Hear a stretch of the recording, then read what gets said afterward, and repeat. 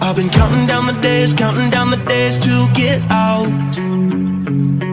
I've been looking for a way, looking for a way from this town starting to struggle a little bit. Sagan presses on. Bilbao's going to get across. And Ben Swift's resistance is starting to falter here while he's uh, well inside and under the kite now. 900 metres remaining for Peter Sagan. Frustrated already in the first week.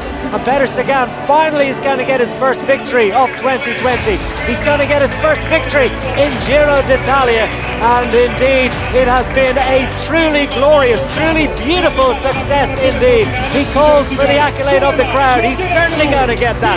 Put your hands together, chapeau. Peter Sagan gets victory on stage 10. To the line, 600 metres. Nobody wants to close it up. As Cofidis are looking, where is Viviani? Arnaud Démare waiting to fire. He's got his moment, and there's been all splits all over the place in the peloton. This could be a really big surprise. Not going to happen for Miles Scotson. It's Peter Sagan just uh, behind Cimolai, and it's uh, Arnaud Démare that's going to have to lead out first. Sagan goes for glory.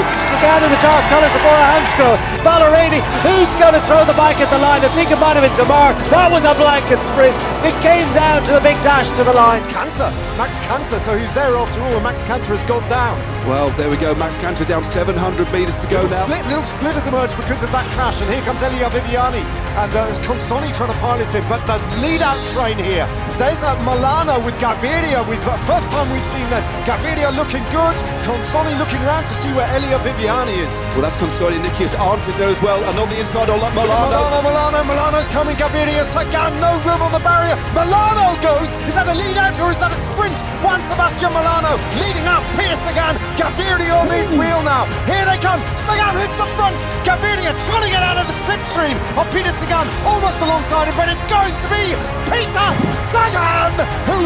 once again at the Giro d'Italia.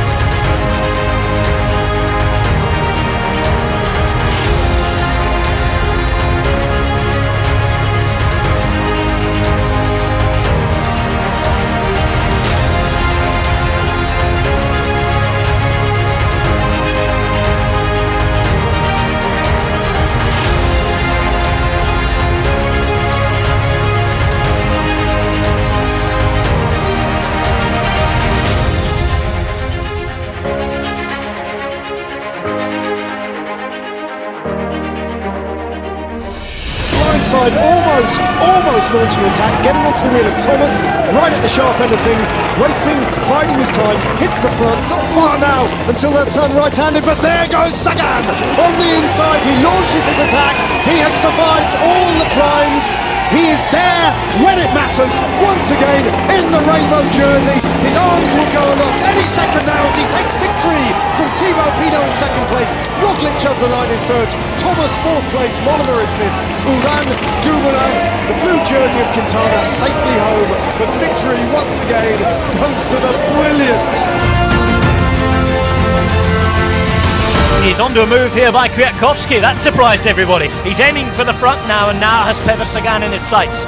Sagan, the world champion, just as you wanted it. And Peter Sagan is finding energy from deep, deep down underneath that world championship jersey. 18 seconds for Peter Sagan. It's not shifting, it's not budging. Peter Sagan is going to do it. It's the 100th edition.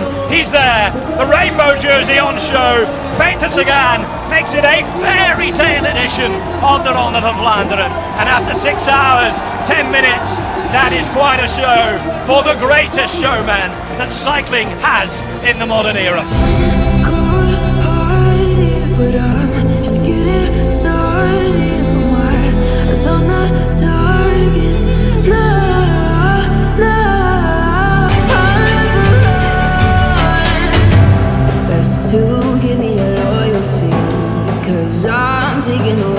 see. They'll be calling me, calling.